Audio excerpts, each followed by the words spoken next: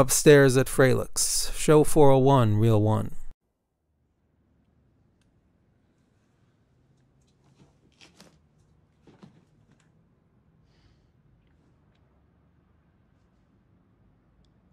Hey, Hey. you are not Kevin Costner.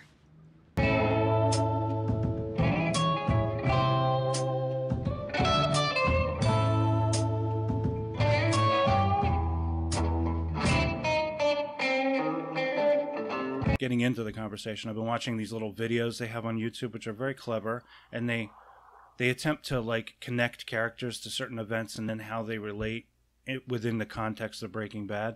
Like uh, this one guy talks about Layla, and, and he wasn't even aware because I think the video came out in May of this year, so he wasn't aware what Layla's ultimate fate was going to be. So he's trying to figure out. He comes to the conclusion, like I did when I'm watching it, Layla must die or completely be removed from the planet because there's no except I did mention and like we are watching the second season, he actually references Layla, and I was like, "Oh my god!" Right. Yeah, and you know what's funny? What's actually funny is the same thing. I I hadn't seen Breaking Bad in a long time before I started watching Better Call Saul. Right? And by the time I'm going to call him Lalo for purposes, it never hit for me. You know, when I watched all the way Lalo. It is Lalo. here. I'm sorry, I It don't know. Lalo. Lalo It- is Lalo is actually an Italian variant of the name, and that's how you pronounce it when when it's Italian. But it is Lalo, as in lollipop. That's what I always think of. Lollipop Salamanca. Yeah, lollipop Salamanca. Call him that to his face. Yeah, right. No, fucking shoot you just like you did that store clerk. Anyway, I'm I'm with you on that whole sentiment because when I rewatched Breaking Bad after finishing uh, the first five seasons of Better Call Saul, same thing. I'm just like, it wasn't me. It was Ignacio. Who sent you, Lalo? No, Lalo. And I'm like, This no. is shit. And I'm like, Peter Gould is one smart motherfucker. that's that's what I was thinking. Peter That's- Gould is one smart motherfucker because They created it- this. When was yeah. this? This was the second season, right? So that was 2009, right? Yeah, And that was six years. Si- Not even six. It was seven, eight, because Lalo doesn't appear until like what? Yeah, Lalo, third Lalo season. doesn't appear till the end of fourth season, 2000. End it's of fourth two- season. Yeah, end of fourth season. So that after is like uh, Don uh, Hector's in the wheelchair. how many years after is that? That's like fucking, Well, the ti well in the timeline. that's okay, almost so- ten years. No, but it, they created the character. They referenced the character ten years before they showed him. know? Right, and that was and Vince Gilligan has gone on record and says that was a throwaway line, but Peter Gould actually was the one that came up with the characters of Ignacio and Lalo just to you know make that scene give it a little more brevity, so to speak. Yeah, yeah, it's canon actually. Now it's canon, if you want to call it that. I guess we'll call it like ABQ canon. sort It of. is, and by the way, I'm right. Lalo did have to fucking die. There was no. I mean, dude, the whole thing is showing Gus building up his empire. You know, Gus has to be the one to kill fucking Lalo. Yeah, we And when, just and when uh, it, yeah, and when he does, it's just like, you know what? I'm happy for Gus. It's like this show managed to take a character we hated in Breaking Bad, and we actually started to fucking root for him. That's true. That is true. Okay, so we are talking, like I said, we're talking about the whole Breaking Bad thing, and we start. We're going to do this chronologically. This is like the Phantom Menace, basically, and we're going to talk about Better Call Saul. Uh, like I said, I started just to uh, to bring it to the Breaking Bad part because Breaking Bad is the show that launched these characters, right? But Better Call Saul is the is the prequel, the the Phantom Menace. Uh, we were watching Breaking Bad. Only, only way better than the fucking Phantom Menace. Except, well, I mean, like, it's a better Anakin. We were watching the episode of Breaking Bad last night that actually introduces Gus, and it's so it's it's it's change. It actually is. There is sort of a, a weird de- evolutionary change here because the the Gus of Breaking Bad is not the Gus of Better Call Saul. No, the Gus of Breaking Bad only has one real enemy, and that's well, two enemies. He's got Juan Bolsa and Don Eladio, and also, whoever well, else- Hector, Hector. Well, Hector is like yes, that's his enemy, but Hector isn't a threat. You know, he- okay, I guess, but we- he is he is kind of worshipped by the Salamanca family. he he is the patriarch of the Salamanca family, but he doesn't run shit anymore. Like when we He first just rings watched the bell. when we were first watched Breaking Bad, it's Tuco who's running shit, but then Tuco freaking Tuco's gets fucking killed. crazy. God, Yeah, they're Tuc- all fucking crazy. These Salamancas, I hate them. Yeah, completely batshit out of their mind, psycho. It just runs like- in the family. It's genetic, man. Gus is just so much more relaxed in Breaking Bad because And well, he- the way he he's knows his- introduced, yeah, he he's got a plan. He's got his whole master plan is there. he's completely. I mean, the whole thing. What the, what Gus is is unassuming. You do not expect this guy to be some kind of fucking drug kingpin, and like even Jesse loses patience waiting for him in the Los Pollos Hermanos, right? Uh, Yeah. And then I don't know. Walt, I guess, puts it together. And the thing is, Brown was asking, "What is he? What has he got? What is he clairvoyant? Is he telepathic? How does he know this is Gus?" And I'm like, "Well, I think it was something that Walt said. He said something about a man like you uh, is is very cautious. So he figured that he was hiding in plain sight, and there he is. And Yeah. what's interesting about Gus in that episode that introduces him is he's so pleasant, right? He says, "If you have any complaints, I can refer to you to our email website." You know, it's like, and then suddenly he becomes he becomes um, the devil, like right away. You know, Pretty much, but like you said, he does hide in plain sight, and that's that's so brilliant about him because it's like he's the last person you would ever suspect to be this gigantic meth manufacturer. Yeah, and it's brilliant too. But but right now we are talking about Better Call Saul and the beginning of this whole thing that actually starts two years after Breaking Bad ended as a TV show, which was uh, 2015.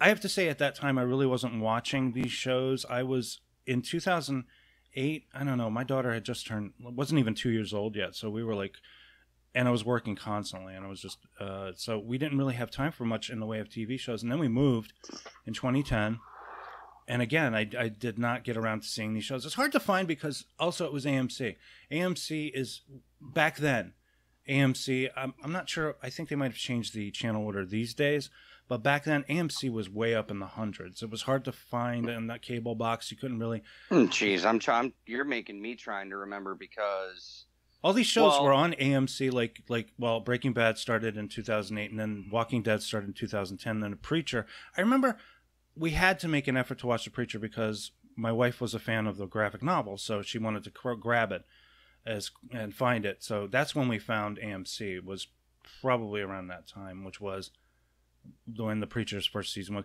and, then, and there was also these other shows that were also very popular sort of like mad men you know things like that yeah, and and I never got into any of the AMC shows. Like, okay, I tried. I don't want to get too far off, but I tried. We've had this discussion over text. I tried the first season of The Walking Dead and I liked it, but then after the whole Frank Darabont ouster situation, I, on personal politics, I gave up on the show. I'm like, I'm watching this because the guy who made the Grade Mi- Green Mile and Shawshank Redemption made this. You know what I mean? yeah yeah I, and he's not involved. I don't give a fuck anymore. I don't care. you got I, I advise you strongly go back i'm i'm in the um i'm in the middle of the i'm coming to the end of the fifth season of the show it's still incredible uh had me on the floor my jaw was dropping plus i mean like it's got i mean like norman reedus is like incredible on the show daryl is my favorite character on the show daryl and So- carol are like my Carol favorite and Carol. What are your names? Neil and Bob, or is that what you do? Uh, well daryl and carol daryl is norman reedus who as you know is one of the boondock saints and of course. and Carol is Melissa McBride, who was in the mist. She was she was the uh, the lady who left early, you know, and managed Right, to yeah, survive. the, the smart one who went back. Stay away from Tom yeah, Jane, yeah. basically, and then you'll be Yeah, all right. exa- exactly. well, anyway, like I said, But yeah, I, go, was- I I would- always watched AMC not for original programming. I remember when AMC played movies, dude. Like when they, yeah, yeah, yeah, it's like like when MTV played music videos. AMC once played movies. yeah. They did American movie I mean, classics they, for Christ's sake. That's what they called play, it. They they still play movies. They just unlike MTV, What's really- AMC still plays movies. They just don't play movies like like all the time. You know what I mean? Like they, they mainly air all that original programming. Yeah, but what's shocking about AMC these days is I never I I'd never uh, put together that they were doing like this content because if you look at like Breaking Bad and you look at Better Call Saul, they curse. I mean, they don't just say shit and asshole. They say motherfucker. They say the f word, and I'm like, and then there's some nudity too, and there's sex. There's lots of, and then there's all the, the graphic violence is very shocking, especially on The Walking Dead. The first few seasons of it. Once we get into season four, though, unfortunately, with The Walking Dead, they started. I I don't know why, but Berger and Nicotero or whatever, or Kurtzman and Nicotero, I forget who it is exactly. I know Nicotero directs the show. It, it is Nicotero. He's pretty much a showrunner, but let's, for sake of argument, can be. Yeah, right. So they started incorporating CGI into their blood, and I it looked really fake. And then they stopped after a couple of episodes because I think they realized, wait, this looks kind of fake. Yeah, yeah. I don't. I hate CGI blood splatter. It looks like crap. Anyway, I hate it too. the first couple of seasons of Walking Dead are complete like old school gore. Otherwise, and there's a lot of gore. Oh my god, there is so much gore. It's so weird. Breaking Bad, right? I don't know about Better Call Saul as much. Not quite as as violent. More, uh, very quick violent uh, outbursts kind of thing. Better Call Saul is probably closer to the idea of Tarantino, which is like you have you have humor that alleviates tension, then you have this incredible outburst of graphic violence, and then we go back to humor again because it is Bob Odenkirk, and he is he his you know his bread and butter is comedy. Yeah, because I watched him, Mr. Show, Bob and David, back when I had HBO. You know, Yeah, that was the cool thing about Breaking Bad was because like when I when I first saw it, I found out, oh yeah, Bob Odenkirk's playing this lawyer, Saul Goodman. I'm like, I really like Bob Odenkirk, so that he's gonna. It's either going to go one way or it's going to go the other, and I'm hoping it goes. It went the good way, thank goodness. yeah. Uh, we learned quite a bit about. Well, we learned a little bit more about his what he was after he became famous as the Better Call Saul guy on Breaking Bad. But then we decide we go all the way back to I guess the year of uh, of 2002 for for Better Call Saul, and he is uh, he's he's basically a public defender. He doesn't make much money. He wants to go into private practice. His fam his his brother, his older brother Chuck, played by Michael McKean, has no respect for him. Really, kind of dislikes him, and I think mainly because his because his mom.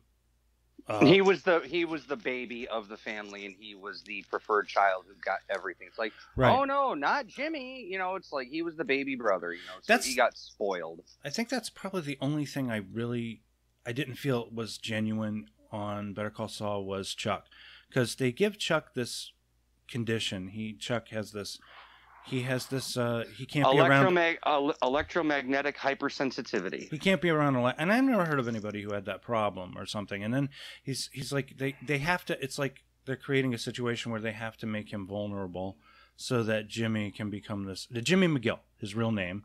He's not Jewish. He pretends to be Jewish. You know, it's kind of like reverse racism. He pretends to be Jewish because you know nobody will hire an Irish lawyer. Oh, so he says it's like that's my. He goes. He says in Breaking Bad, it's like, oh, don't mind the name Goodman. Real name is McGill. That's just my tribute to the homeboys. he said the, tr- the tribe. You know, he, he talks about It's about like my tribute to the tribe. You know, it's it's. But then when you find out how he gets the name, it's really cool. It's like it's all it's all good, man. It's all good, man. So you have I, go ahead, go go, ahead. ahead. No, you go ahead. I just I I remember when the show came out, believe it or not, I really wasn't that interested. It took a friend of mine to tell me, he goes, You like Breaking Bad, right? I'm like, Yeah, I really like Breaking Bad, but I don't know about this Better Call Saul show. You know, it's like I remember watching Breaking Bad, not getting invested.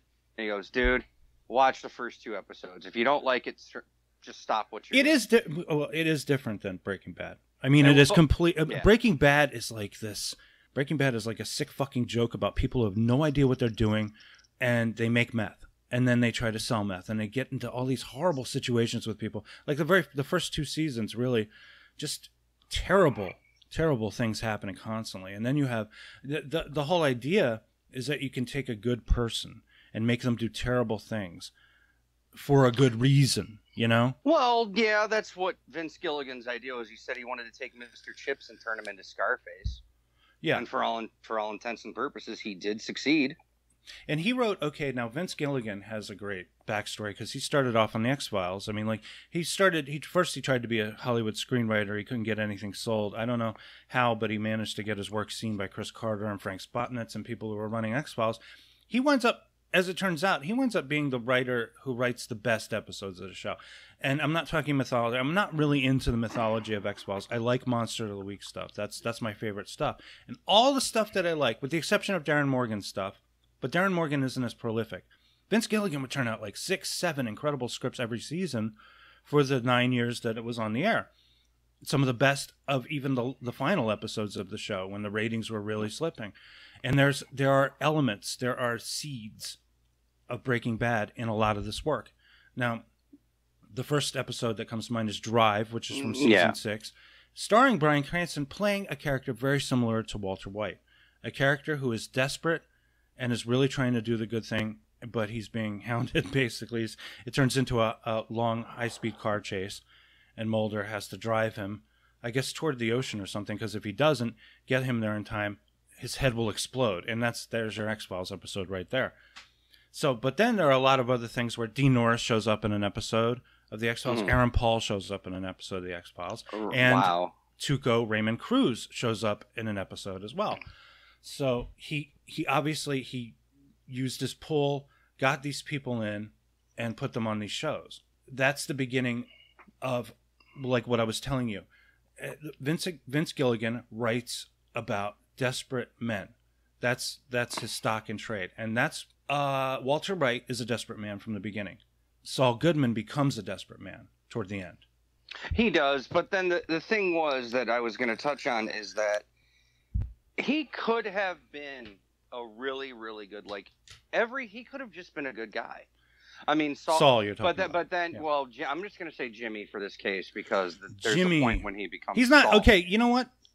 Jimmy is the man, and Saul is like the the the mythology. Saul Goodman is the, for lack of a better word, superhero alter ego. Yes, he's Even though he's an he's anti-hero. The, he's the dark side. He is the anti-hero. He's he's Jimmy's dark side. He's everything that a lawyer shouldn't be. But like Jimmy knows what a good lawyer can be because he starts off as such a good lawyer.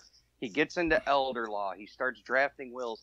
He starts doing this. He's finally making some decent money doing what he does. yeah, but yeah, then yeah. he, He actually, still, yeah. I mean, that, that's what I was telling you. has to feed his. I was surprised. I was surprised about that because I said, like early on, early on, the elder elder law, you really get the feeling he cares about his clients. And he does. He actually does because the old people do love him. And even then, there's that scene with the like later on. I think in like season three, maybe not season four, with the Sandpiper settlement. Yeah. And you know, with that old lady and everything like that. Like he, he was Oh, trying yeah, to be a that was- shyster and getting her because she was the head of the settlement. And manipulating her friendships, and and, it was just, uh, oh yeah. god, that was But terrible. he did eventually. There, you see, there's that shows that he had some good in him because he did. Basically, he fucked up everything for him just so she could get her friends back. yeah, and like the, delayed the whole settlement. But That's then true, that's true. That's sort of like what happened in the final episode too. Yep, Remember?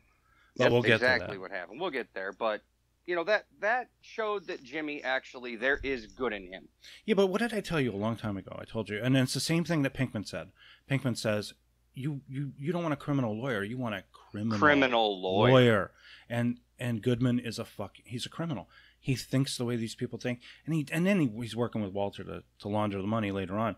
But this goes. I mean, like what we're seeing is like kind of the evolution, sort of, except that Jimmy McGill is a con artist. You know, he's a scam artist. He had that friend, uh, you know, Mel Rodriguez plays his friend. Yeah, right, right from Chicago. Really fucking sad what happened to him too. Oh, but they have these they have these scams like the coin and um, the watch, the watch scam. the watch scam, the, the you know pretending to be uh, uh, dead on the ground, and then there's also the thing with the bill, the dollar, dollar bill through the bo- through the bottle of beer. I don't understand that one myself. It's like how you can just snatch a twenty from. Oh, I, I know it's. It's just like a quick, like not a sleight of hand, but it's just like it's one of them things you can do, but you got to be fucking quick about it. You know, Right. removing the dollar from like you put the beer cap on top of the beer bottle, and then you put the twenty there. And it's like if you can snatch the twenty without moving the beer cap, you get the twenty. Right. Gotcha. That that was cool. I like that. Yeah, Just so- shows all the scams he ran in Chicago. It's like okay, and and the very first episode I think um, is a scam. He tries to uh, basically. The Ket- yeah, the Kettlemans. He tries to s- scam them into. I know, don't the whole- understand. yeah. The Kettlemans are so fucking. I mean, the wife is so out of her mind. She's completely out of her mind. She thinks that money is hers. It's hilarious. And then he gets the two skater kids, the twins. Oh my god! And then what happens? They That- wind up going to the wrong house, scamming the wrong person. It turns out to be Tuco. Tuco has their legs broken, but at least Nacho is there to make sure Tuco doesn't kill them. And Nacho is another character that I absolutely love because Nacho is awesome. He's got this uh, morality, and he's not a crazy psychopath, and uh, he's just doing the right, trying to do the right thing most of the time. He's just trying to make money for himself. I mean, he just wants extra money. He doesn't want to be involved with his father's upholstery business for the rest of his life. Yeah, yeah. He was a, like as they said, a guy with a really good heart who just got mixed up in a bad situation. You know, that's that's why when spoiler alert, You gonna spoil it now? Spoiler alert. That's why when Nacho did what he did to himself, I felt bad, but at the same time, I said, well, can't say I didn't see it coming, you know? I felt fucking terrible. I mean, like Nacho was one of my Nacho was one of the few characters I really liked on the I show. loved, I loved Like, Nacho. I There's very him. few. I mean, like I guess maybe Better Call Saul has a lower budget. I want to assume than Breaking Bad because there are fewer characters popping up, and the the most of the characters are from Breaking Bad, but younger versions of themselves, so to speak. But they do introduce basically, you know, you have Howard. They introduce they introduce Chuck, his brother, and they introduce Kim. Kim is very interesting because it seems like she's a good person, but she can't help but be seduced by by Saul's evil. You know. Well, that and her upbringing, her mom was a scam artist.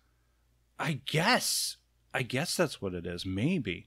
Well, there was that episode where Kim got caught stealing the earrings from the from the department store. Right. That was she that was a an kid. episode that Rhea Seehorn actually directed. I think. right? Yeah. In the fifth. Oh wait, was that was that one of the more recent episodes? I think that was one of the more recent ones. Yeah, you're Yeah, right. That was that was. They showed like a little flashback, and it was something that I guess because both both Rhea and Giancarlo Esposito had opportunities to direct episodes in this final season. I guess. Oh, that's well. I knew about Ray, but I didn't know about. Uh, I think Giancarlo. I knew about that, but it probably didn't click until you I forget which one it was. Maybe it was Yeah, that so crazy one that, that where he has like this, he has like this fake house, and and down is there's a basement where he actually keeps himself like a bunker.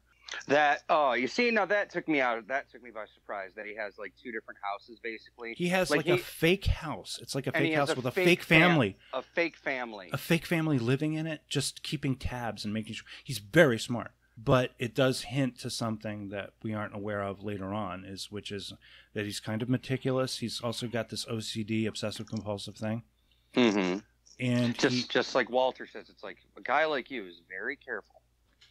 And that's because I mean, like Lalo's out there. Lalo's out there, and he's going to kill him. Well, that and this is the guy who wants at the his end game at all this is to cut out Eladio, like literally Yeah, yeah. cut out Eladio. Because when now we can go Eladio back is- Call Saul, when the show starts, it's all about cocaine. Yeah, Like, that's true. That's meth is not meth. Don Eladio wants nothing to do with meth. He even says, "Oh, it's for hillbillies and bikers," you know, all that. Wait, stuff. is is Eladio the Steven Bauer character? Right. yes, the yeah, Steven yeah, yeah. Bauer okay. character. Because Like- again, this this show is like Scarface. I mean, like they took the guy from Scarface, Mark Margolis, who is with the bomb and everything. No women, no kids. You know, the guy who gets Rip. killed by Al Pacino, and the Steven Bauer, who's fucking Manny. You know, Oh, you all, you forgot about Tony's mama. Tony's mama. Tony's mama. Tony's mama is Plays uh, Tuco's abuelita. Oh fuck me! I didn't even notice that. I didn't even notice that. Okay, apparently, well, Gilligan and Gould and all those guys are fans, big fans of Scarface. Then Of course, because like they they said, get those guys taking, in there. taking Mr. Chips and turning him into Scarface. why not? Why not bring some Scarface actors? But even then, on I mean, well, the thing about Walter, I mean, he'll always be Mr. White. You know, I mean, did you never notice that Jesse never Jesse calls him by his first calls name? him Walter. Yeah, he's like it's always Mr. White. And Mr. White. I mean, my daughter is in love with Jesse anyway, but she she just loves that he calls that he calls him Mr. White, even in the middle of everything that they go through. Even So- when, like even when he's like when he's beating the shit out of Saul when he finds out Brock got poisoned, he's like, "You let Mr. White do this." It's just like you just can't call him Walter for fuck's sake. Mr. White, you sound like Badger though. That's how Badger talks. Badger talks like that. Wait, you're Heisenberg? I, I will say this though, I would have really liked to see Badger and Skinny Pete in in Bra- uh, Better Call Saul. That's a nitpick though. It's like you saw, Je- we got you don't really Jesse see. You get you get like five seconds of like Emilio, you know, and yeah, and- Crazy Eight, fucking Crazy Eight. and all that. But no, I mean like maybe Oh, Emilio, yeah, the other guy, yeah. it's not actually part of you know. I mean like put throwing Jesse in there was just sort of like fan service, so the winks the fans could be like, oh my god, it's Jesse. They put him in like in the last couple, uh, the last episode, I think, right? The second to last. Jesse. Second it was, to last, It was but the last three episodes. You had Walt and Jesse in, in the Breaking Bad episode that was called Breaking Bad. Right. Then Jesse was just in the other one, and then uh, Walter was That's what. That's why it blew my mind because he was like, um, when when he mentions because they do the scene again, and he says, "Did Lalo, did it was Igna- Ignacio? Did Lalo send you?" And I'm like, "No way, they fucking retcon this, right?" And then I'm watching the second season episode. I'm like, "Holy shit, he did mention him." And I just I, and I like the subtlety to it. It's like Jesse asking, "So who's Lalo?" Yeah, So who's- nobody who's knows. Lalo. That's a Like, different show, man. It's like we're in a different show, biatch. You know, we're different characters, Joe. Anyway, because I, I think he doesn't because we were talking about this yesterday. I don't know if Saul or Jimmy, Saul slash Jimmy, I don't even know if he knows that Nacho and frickin' Lalo are dead. Like, okay, he was lied to about Lalo the first time, and then you know Lalo comes in, does his thing. So when he's told he's dead a second time, Jimmy probably still thinks in the back of his head, it's like, yeah, you can tell me he's Lalo's- he's blue in yeah. the face. Lalo is a I'm- fucking survivor. If you've noticed how he escapes out of these situations, Oh yeah, and then living. so it's, under, it is kind of a shock ultimately yeah. what we learn. But in the uh, first season, we're basically we're just setting up Jimmy Jimmy's character and uh, Chuck's illness, his debilitating illness. Obviously, Chuck stopped working at the law firm that where he's a senior partner. Uh, and it seems like the, the law firm wants to buy him out, and Jimmy is is is actually he's trying to take care of his brother's interests. And the thing is, I don't think his brother really appreciates that. Well, and you're absolutely right because you get to the finale and it just even shows that you know uh, Chuck says to him, "You can get someone else to do this for me." We can say this now because this is like so far removed. So you you find out that Jimmy was the one who gave a Chicago sunroof to somebody in Cicero. Chicago Uh, sunroof. so Chicago sunroof. Basically, he defecated inside of a car with a child in there, not knowing there was a child. Not there. knowing, but this is one reason why you keep your sunroof closed. Yes. For fuck's sake. like the whole thing was Chuck did this, I think, out of obligation. He didn't do it because he wanted to. Chuck saved Jimmy because he goes, "Your family, you're my little brother. Of course, I'm going to save you." You know, it's like Right. he did that, and he tried to manipulate Jimmy, like get him under his thumb, so to speak. But then, when Chuck couldn't take care of himself anymore, the last person in the world he wanted to take care of him was fucking Jimmy yeah. yeah, because le- as the famous last words he's like you're slipping jimmy but slipping jimmy with a law degree that's like giving a monkey a machine gun. Yeah, yeah. chuck really wanted nothing to do with him But that was the only time I ever thought at the beginning that the show was trying to I what's the word? It, it was convoluted. It was a little bit convoluted to me that Chuck would have some kind of a debilitating condition because it would be just convenient for Jimmy to take advantage of that. I just I think Jimmy works best when he has a challenge and his brother isn't really a challenge if you know. I mean, that's just sort of how I saw it. But then when when Chuck suddenly he gets better, right? For some reason I don't know why he recovers and he's able to actually work in in the building again, but well what ends up happening there I, they still I've mean they still recently. make him they still make they make everybody turn in their cell phones put them in a Eh, plastic well- bin turn off the electricity is this is this this Eh, is a what- mental disorder this is not anything that is real Right. And what ends what ends up happening is I can tell you right now I remember verbatim. So after Jimmy basically gets Chuck to call himself out and says, you know, the disease is in your head, Chuck actually goes and gets help. But then the whole reason like they said in the finale, but it's not even need to be said because we knew this, when Jimmy gets Chuck's malpractice insurance revoked, that's when Chuck slips down his dark path. That's when Chuck just commits suicide. yeah and that's that's where you know That's you- where he- start that's i where started really that's when i started to him. not like him that's where he had the. That's where basically, yeah, that's like like in Breaking Bad. I don't want to get too far off tangent, but like you, know where these characters like where they became who they were. It's like Jimmy became Saul the second he decided to fuck with his brother's malpractice insurance and Oh, basically and okay. basically killed him. Uh, Walter. When wait wait wait wait wait before you start walter Mhm. i have an idea of where i think walter lost it Okay. So ahead. I'll tell you, uh, when Combo is killed, and he's like, "Who's that?" It's like he doesn't care. He has no remorse over the fact that Combo was killed. I think that's when Walter turned, not, not a couple of episodes later with Jane. Mm. I think that's where Walter started to turn. He started to lose his. I think he started to lose his humanity when one of his own is killed. I mean, it's He- it's Yeah, but then, but then you see, he's the one that got bat. He didn't kill Badger when he could have killed Badger. I don't know when, Because let, let's okay. when was he going to kill Badger though. Well, okay, the Better Call Saul episode of Breaking Bad, that when they're in the desert, you know, Saul is saying to him, "It's like you really want to get this kid off. It's easier to have him killed." Well, that's You know- true. I mean, but the thing is, he's sitting there. That's the thing. It's Combo's already dead. It's already happened. The Jane situation, he does nothing when he should actually save her life, but he does nothing. The Badger thing. Why don't you just have Badger killed or something? Just get get rid of him. Write him off. He's a loss. That's Saul. that is fucked up, Saul Goodman, right there. But it's also Walter is not going to do that because that's too active. It's too active to bump him off, you know. Mhm. But it's it's lazier to just to just sit there while someone's choking on their own vomit, or after the fact that Combo's dead, he doesn't care. It's like I don't care.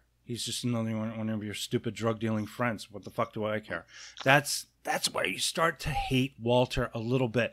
But when I was watching Better Call Saul and I was watching Mike, Mike is like, okay, that is like one of my favorite characters ever. oh yeah. Mike is absolutely fucking awesome, and you learn so much about him from the from the first season. I think it's like he comes from Philadelphia. He's an ex Philly cop, right? Yep. Gets mired in corruption that got that killed his son. These two cops, right? And he fucking killed. He he's so fucking smart. Mike is like I I would pay Mike to work for me. And he actually gets the he kills these cops, these kill, cops who killed his son, and that's his backstory. He comes out here, tries to reconcile with his daughter-in-law, right? Right. and to build a relationship with his granddaughter. And it's like, my God, there's so much going on here. And then I, I messaged you. I was like, I said, the more I watch this show, the more I hate Walter White because Walter White. Oh, no, I don't want to talk about it. We'll talk about that when We'll we get, get to, to we'll get to Walter when we get to Breaking Bad. when we get to Breaking Bad. And so you're watching the evolution of this character, and that's that's the thing. The evolution of characters. Maybe it's my old age. I'm going to be 50 in October. I have no patience now for for for characters that don't evolve. That's why I was telling you, like, uh, my favorite characters on Walking Dead are Carol and Daryl, right? Because those two characters have evolved so much in five years. Carol was an abused wife. She is now like this tough, badass bitch with a gun. Daryl was like a fucking redneck hillbilly shit kicker, asshole, fuck face, God knows what else. Uh, and he becomes this in- incredibly responsible leader within the group. Now, Jesse is a character that evolves. He's like maybe the only character on Breaking Bad that actually evolves. Right, because Walter does devolve. Mike just stays the same, but then, in, but like you said, in Better Call Saul, you get to see the evolution of Mike's character. At the same time, you get to see the evolution of Gus. I mean, there are so Well, I mean, characters. that's another thing. see. The whole show is about evolution. Well, there's remember I talked about the videos that these people are making about Better Call Saul, right? There is a scene uh where it looks like in in a, in a Breaking Bad episode there's a scene where it looks like Mike is about to kill Walter. And Walter says, "You don't have to do this." And he looks at him. He says, "Yes, I do. I have to do this." This mirrors a scene that happened, I think, in the fourth or fifth season involving Werner, right? Right. Werner says, "You don't have to do this." He says, Yes, I, do. so I mean, like it's like he knows. Mike has this thing. He knows what he has to do now. But at this point, But the only the the, only difference is that sorry to say is Werner didn't have an option B, whereas Walter did. yeah. But the th- I mean, it's it breaks his heart. It breaks my heart because they bonded. You know. Yeah, and then that, and that was Werner the bonded. that's the big difference between Werner and and Walter is that Mike never really liked Walter at all. Yeah. Well, you sort of get that indication. Yes.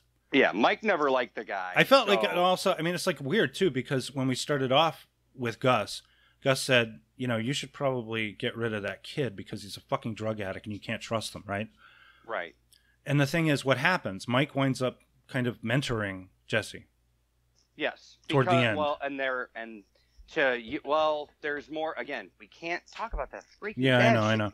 It's weird though. but, I mean, we're having this conversation. We're talking about a show, but but it all sort of connects with everything else, you know. It does connect. It's uh, oh, what was I? I had it. I was going to say it. I can't remember. Something it was like Jesse. okay, okay. This is where I'll leave it. Gus, the whole entire time Gus hired Walter, it was to use him, because the at the end of it, he knew two things were going to happen: either he was going to kill Walt, or Walt was going to die of cancer, because his mission was to get the number one meth meth manufacturer, the guy who had the best formula, get The best Gale- product, ninety nine percent pure. Get Gale to learn it, right? And then when Gale learned it, boom, he could kill Walter. Gale could be working for him completely and be happily ever Yeah. after. Like Yes. Walter was just somebody that he fucking used from the beginning. We as Yeah, the yeah, audience, though, we we don't see that until you know season three is when it starts, like near the end or middle of season Uh, four. what about okay? Wait it. a minute. Wait a minute. What about uh, uh, Gus's right hand man there? What's his name? I know the Hispanic guy. Yeah, the Hispanic one, not not not Tyrell. yeah, I know. I know, I know what you're talking about. Oh no, he, he was killed because he was learning something his ass didn't need to be learning. But I thought I thought it was going to be set up that it was going to be he was going to replace Gale. He was going to replace Walter and Jesse with Gale and that guy. What's his name? God damn it! I can't remember it name? either. But Son that of a bitch! that and then he fucking slits his throat with a box cutter. Yep. But we see him in Better Call Saul, and he's working with uh, Gus in Better Call Saul. he wasn't. I guess it was maybe Tyrell is the one he wanted to be working with. Um, with Gale, like you said, we we both said Gus has this big master plan, and Gale was involved in his master plan, and possibly Tyrell was involved in it because He Tyrell. wants to. He wants to. What's the word? He wants to. Um, he wants to separate. He wants to get out of the cocaine business into the meth business and make it all for himself. Lalo finds out about the lab that he's building. He doesn't want to be in debt or servitude to these Salamancas because they're fucking psychos and all that. And I think he owes them something because I think they helped him, right? Didn't they help him come over, or something? Is that what happened?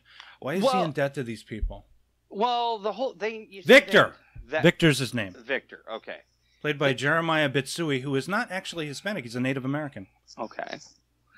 They never say that about who Gus is. All you know is that he's Chilean, like he, and they refer to him as the Chilean. It was like there was something about him that also they- not his real name apparently according to dean Nor- uh, hank hank's character there says that there is no record of a gus fring or a gustavo fring Okay, well there you go. So Hmm. they they knew something about this guy, and that's why they brought him over here. And then he's the one who tries to, you know, not undercut Don Eladio, but he fucks up and he says, "Hey, let's sell meth." It's like you made this behind my back, and that's why Max gets fucking killed. That's- Gus's Gus's gay lover. We all know that's the truth.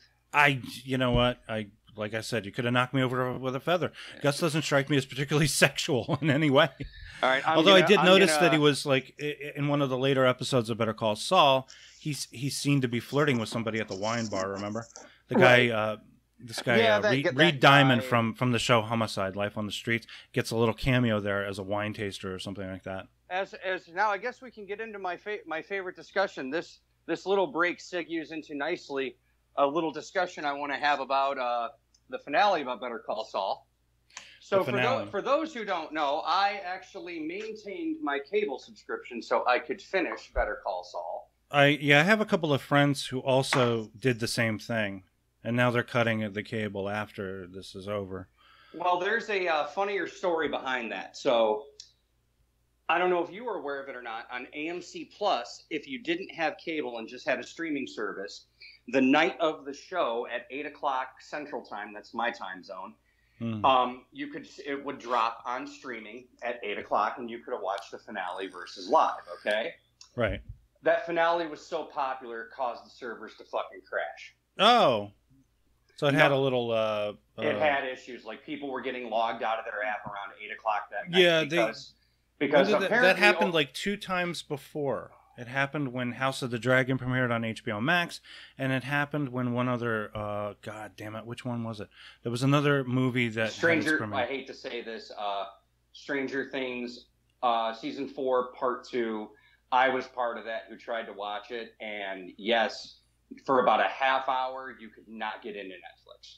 Like the server guess it fucking was- crashed. Yeah, it's, I, I, they need to they need to work on it. The technology is incredible now. You can like access anything you want by by streaming, but they need to put more behind it. I guess. Right. Well, the cool thing was that, like, even though the finale of Better Call Saul only drew 1.8 million, you know, live viewers, um, on streaming, it was like they got five times that amount. Yeah. They said over almost 10 million people were trying to tune in at once to watch, like, the last episode of Better That's Call pretty Saul. damned impressive. Yeah.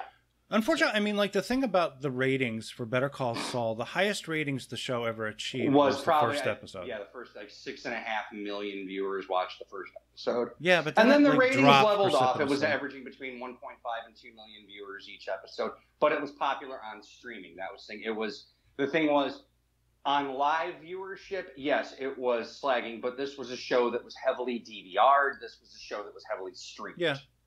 Like more people just wanted to stream it and DVR it, and I'm not gonna lie, I DVR'd it. I never watched it live. I was a DVR guy. Right.